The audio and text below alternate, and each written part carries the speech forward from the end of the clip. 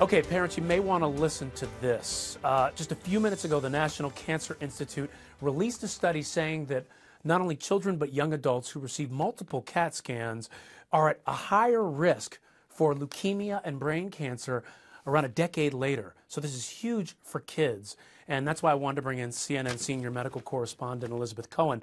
So, uh, Elizabeth, what do parents need to know about this? You know, this study was very interesting because it looked at a really large group of children and it looked at how many scans they were getting and then they followed them to see who got cancer. And what they found is that if you did 10,000, if you scan 10,000 children, just picture a group of 10,000 children, one of them will get leukemia and one of them will get a brain tumor that they wouldn't have gotten without the scan.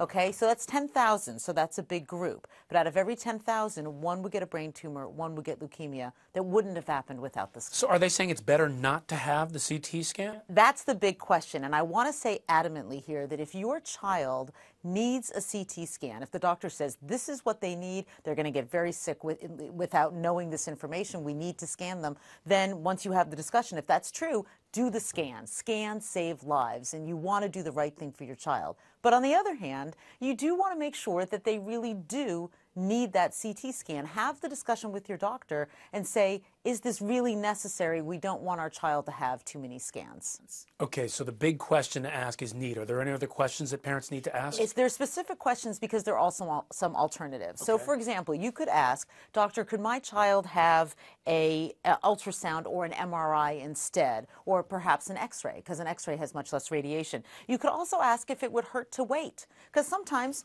you know what, it might not hurt to wait. Wait a week and see if maybe this, the problems go away. Sometimes it does hurt to wait a week, but maybe it wouldn't hurt to wait. Also, avoid multiple scans, and let me tell you what I mean by that. Mm-hmm. Sometimes, let's say your child goes to the emergency room and they do a CT scan, and then your child goes to the doctor the next week, and the doctor will order a CT scan. And you should say, hey, they did one in the emergency room. It might be a pain in the neck, but go get it.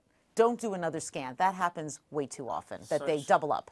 Wow, such important advice. Elizabeth, thank you so much.